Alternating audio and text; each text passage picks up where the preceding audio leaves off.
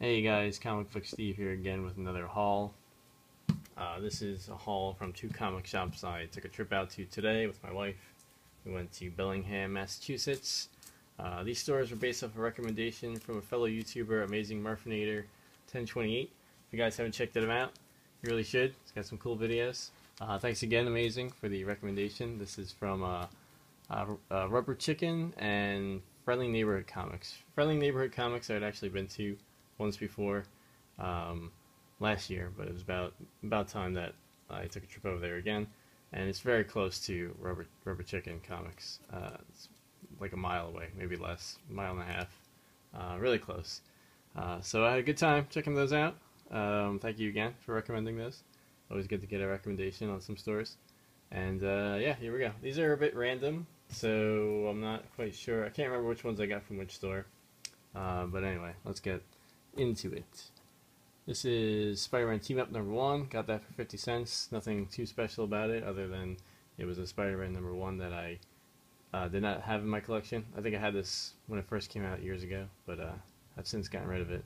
Uh, so it was about time I uh, picked it up again. You got a classic X-Men team right there. 90s, very 90s going on. This was in the middle of the Clone Saga, although you wouldn't really be able to tell from the cover. Let's actually get some more light shining on this. It's a little better. Yeah, so that's that. Uh, next one is Dazzler number one. Got that for a buck. This is from the 70s, so uh, I'm not too partial into Dazzler, but uh, it's always good to find a nice condition Bronze Age book. Um, I think this this cover is kind of weird. Uh, it really reminds me. I, I, it looks like it's from the '70s. You can you can tell it's from the '70s. It reminds me of the uh, Star Wars uh, Christmas special for some reason. Just like the way it has these uh, various characters on the cover. I, I, can, I can always hear it saying, "And now starring Iron Man, Kurt Wagner." and the Amazing Spider-Man, plus the villainous Enchantress. I don't know. It just seems so, so like hokey the way they, the way they display them in bubbles on the cover. Uh, yeah, haven't haven't read it, um, but I, I'm glad to have this uh, piece of history in my collection. I think at one time they were gonna make a Dazzler movie, and they uh, they never went through with it.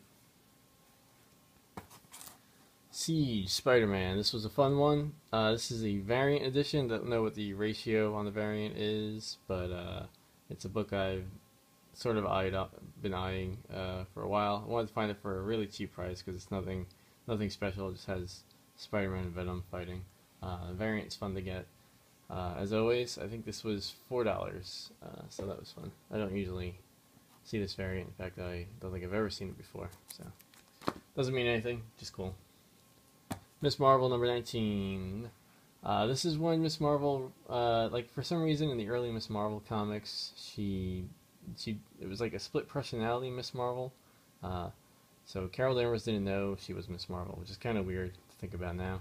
Uh, in this issue, uh, I believe, and uh, don't don't don't quote me on this, or please correct me if I'm wrong, but I believe this is the issue where she realize she realizes that she's Miss Marvel, and then the issue after this is when she gets she does a new direction where she gets her classic Miss Marvel costume and uh, goes onward from there. Uh, but I've been looking for this one uh, just because of the significance of the character. Uh, I never really see it in back issue bins, so I was glad to find it for I think I paid four dollars for this one. So really nice looking copy. Very happy. Uh, this one was about four bucks. This is Ghost Rider number 81. It's the last issue of the original Ghost Rider series. Uh, really awesome looking copy. No, no breaks in the black. There's maybe a few very small spine ticks hanging out on the spine, but nothing, nothing drastic. Uh, I think it's really beautiful looking copy. Uh, it's uh, like I mentioned many times before. I love last issues of books, especially these older series, because they're Usually by then the print run's pretty low, so they're not as easy to find. This one certainly fits that bill. Uh, it's not terribly easy to get, not super expensive either, uh, not super high in demand, but you know, for some reason there ever is a like high demand in Ghost Rider books, uh, this one would definitely be one of the harder ones to find. Uh, and it's just an interesting piece of history, you know. Uh, Ghost Rider's last issue. Uh, it says the saga concludes, which we all know is not true now. Johnny Blaze is currently uh, running around as Ghost Rider in some series or another, or at least he definitely had a few series after this book. So there you go. This uh, this guy was a buck. Superman seventy five, first print. Death of Superman. Uh, this is the non-enhanced or non-bagged version, uh, so it's not the Tombstone-looking comic version that came with all the other polybag stuff, nonsense, cards, and newspaper clippings. Uh, so that was kind of fun. I never had this one before. Um, didn't really need it, but for a buck, uh, I will certainly take it. Uh, I need it for a buck. That's what I'll, I'll say. Uh, I wasn't going to pay anything more than that for it, but I'm certainly very glad to have it at that price. Nice looking copy. Nothing wrong with it. Uh, this guy was four bucks. Spider-Man Special Edition. Uh, number one, this was a book that you got if you donated to UNICEF back in the 90s. It was like, I remember going to a comic shop, there was like a card on the table uh, with a picture of the cover and UNICEF's logo and says, hey, send in five bucks, we'll eventually send you this comic. I, it was a pretty long time, I think, before they sent the comic, and I don't remember how they sent it. Uh, I, I don't remember coming in very bad condition, but I, for some reason, remember being a little, uh, having a little shortness of breath when I went to uh, pull it out of the mailbox, and, and that it wasn't very, um, very well protected. Uh, but I can't, I can't remember exactly how it was uh, packaged.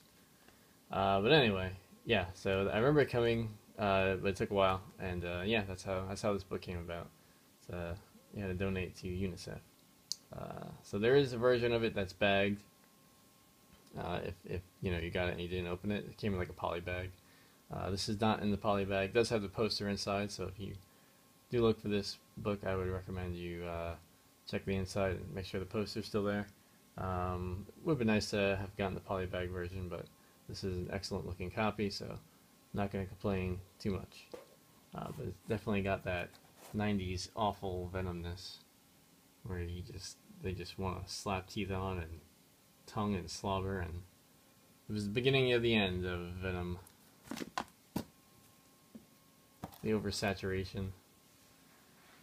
Uh, Amazing Sp Scarlet Spider number two. I always forget about this uh, little series. This technically is part of Amazing Spider-Man, technically, uh, because during the Clone Saga, Amazing Spider-Man took a break for about two months, and instead was replaced by Amazing Scarlet Spider 1 and 2.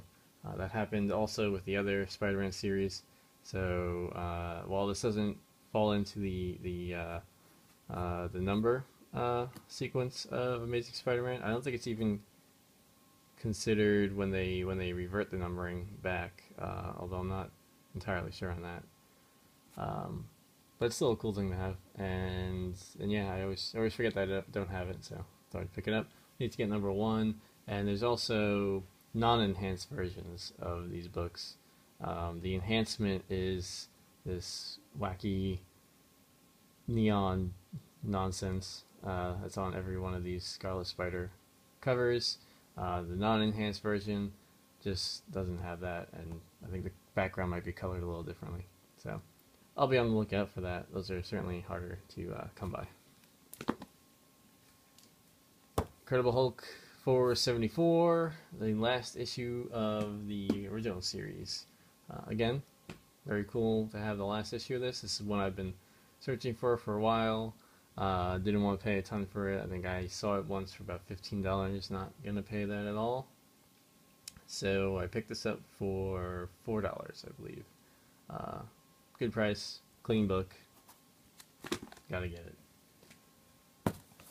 Hulk number 15. This is actually still in the bag that I bought it from, so it's three bucks. This is the first appearance of Red She-Hulk, who is not doing anything currently, and is currently, spoiler alert, depowered uh, in the Marvel Universe pre-Secret Wars, so who knows where she's going to fall during after Secret Wars, although my bet will be that uh, no one's really going to...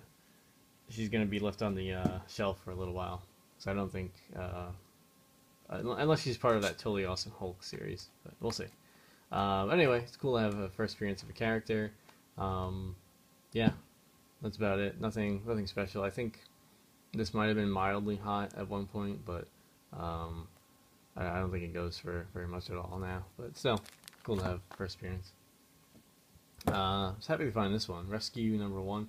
I didn't know they did a Rescue one shot, um, so I thought I grabbed it based on the fact that I haven't seen it before, and uh, and I think she her Rescue might or at least Pepper Potts as rescue as like a Iron Woman character uh, might be the second series. Uh, so let me go back a little bit. Uh, they teased that there's to be two Iron Man series coming out uh, after Secret Wars. One is obviously Invincible Iron Man with Tony Stark, and the other one, uh, I remember reading a, a, a, rumor that it might be Rescue uh, in her own series, or Pepper Potts as some Iron Lady. so yeah, we'll see. it was only like two bucks, so thought I'd pick it up since I don't usually see it.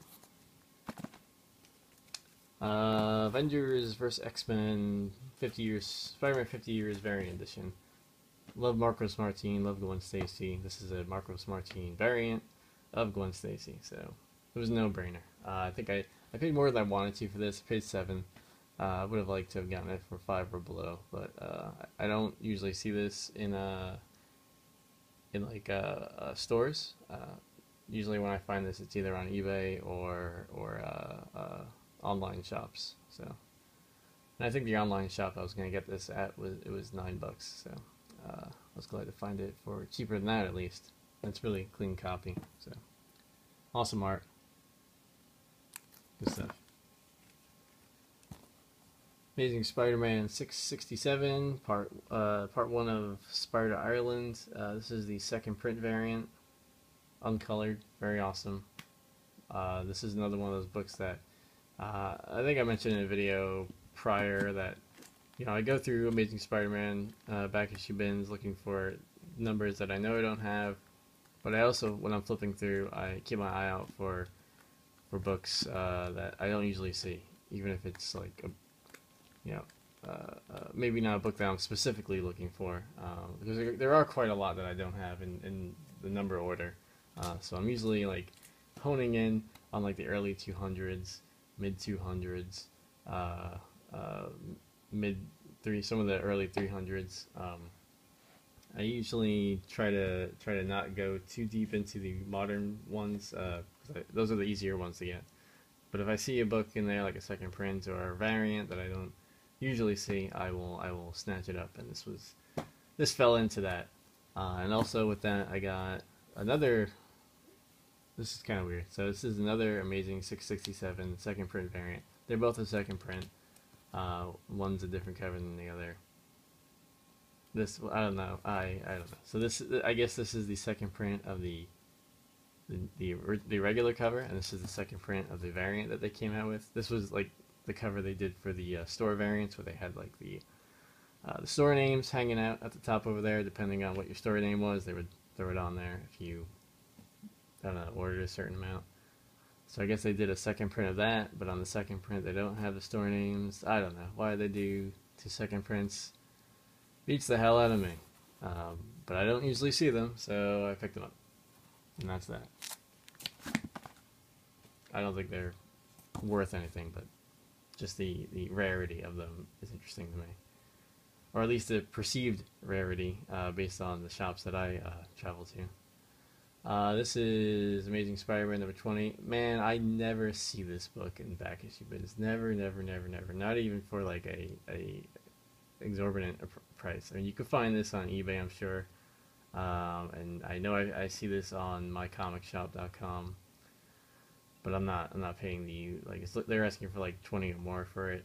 Uh, nah, I'm just not gonna pay that. Um, I had this a long time ago, got rid of it. I certainly re regret getting rid of it because it was a hard one to fill in my uh, collection. Uh, this was about five dollars, I believe. Wasn't any more than that for sure.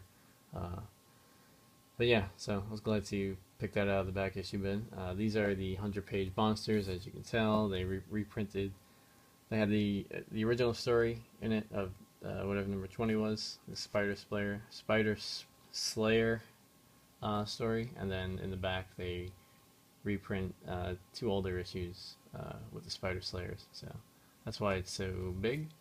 And uh, they're notoriously hard to find in, in near mint condition because of how fat the issue is. Uh, you can see down at the corners are not are not very not doing very well, especially this guy down here. But overall, it's in nice shape. So uh, and I don't find copies very often, so I figured why not? I'll take it. If you see that and you're trying to fill in your Spider-Man collection, just pick it up because I don't know. In Massachusetts, it's hard to find. Uh, Secret Warriors number one. Uh, so the Secret Warriors are going to be in the new uh, Shield, um, Agents of Shield season, season three, starting soon. Uh, this was not super high on my radar. Uh, I had the first appearance of the Secret Warriors, but uh, for I think this was like two bucks. You know, I'll take it. Usually, I'll, I'll if I can remember, I'll flip through the Secret Warriors back issue bins. There's they're always missing like number one and number two. So I saw number one, thought I'd grab it. There you go. Uh, what else we got here? This is actually an eBay purchase. This is Mask of the Phantasm. The they, uh, so they called it the newsstand variant. I think this uh, I think this is actually the non-enhanced version that was also stole sold in stores. Um, let's see. Uh, I'm drawing a blank here. What do I want to say about this? So I love I love Mask of the Phantasm. When it came out, I didn't see it in theaters, but I had the VHS. Watched it constantly. I love the the look of that character, the Phantasm. Uh, I love the reveal of the character, and uh, this is technically the first appearance of the character in comic book form. So if they ever use her again, uh, oh, I guess that's a spoiler. It's actually a girl. So you, you see, you go through the whole story thinking it's a guy, but it's a girl. Uh, but anyway, so they uh, if they ever use her in in comics again, uh, this book might pick up. And with all the random animated animated characters uh, that show up in like mainstream DC, like Livewire and Harley Quinn and Batman Beyond, and then their books, their like animated version, first appearances in comic book form, end up like skyrocketing. Uh, not so much for Batman Beyond yet, but I, I, would keep an eye on that one. So I have a feeling that that one will eventually uh, go up a bit more. Uh, so I thought I'd grab this in preparation for in case that day comes because I love this character and I do not want to pay like 20, 30, 40 or whatever dollars for this book uh, years from now if they ever use the character again. I got this for like five bucks. I think that might have been too much for it, but uh, it's a little beat up. Not not too bad. It looks great in the plastic here, but there are some ding, some bending uh, on the corners. Uh, you can see if I can get the light to shimmer on the right corner down there. You might be able to catch that little bend. And there you go. Kind of sucks. I was hoping it'd be near mint. Probably more like a fine copy. Uh, the back's got a few uh, bends in it too. But overall, I think it's cool. Uh, like having the non-enhanced version. I think there's another version of this that's more like a has more like a painted cover. Uh, yeah, so that's about that. Nothing, nothing special, but if you like the character and you don't want it to go out of reach one day, it's cheap, super cheap now, so pick it up by all means. Uh, so now we're gonna get into new releases. Uh, this is Spider Verse number four. I'm still dragging my feet with the series. Uh, probably won't pick up number five because I really, really am not liking it. I like the cover. That's that's about as nice of a thing I can say. Um, and yeah, it's just it's rough. Okay, the art is just it's just rough. Uh, if any if any of you guys read this and, and like the art, kudos to you. Art is art is not like something that everyone needs to like. Um, but for me, it's just not it's just not doing it. I'm not doing it at all. Uh, yeah, so I'll probably skip out on five unless there's some drastic reveal in there that I absolutely need to have Uh, or if I see it in like a dollar bin months from now, I'll pick it up. But I think that's that's. I think I'm done with Spider Verse. Uh, I'll probably pick up Web Warriors number one when it comes out, just just because. Uh, I think the artist is different in that one, so hopefully it'll be a little better. We'll see. Uh, Renew Your Vows number four variant edition. So I'm gonna try this new thing, where if I pick up any new release books, I'm gonna try to get at least at least one variant of theirs instead of the regular cover. Uh, even if it's like a 1 in 10, 1 in 5 variant, just just to have something a little more uh, uncommon. Uh, yeah, because mo modern books, I mean, they go up a bit, but I don't know. I just don't want to.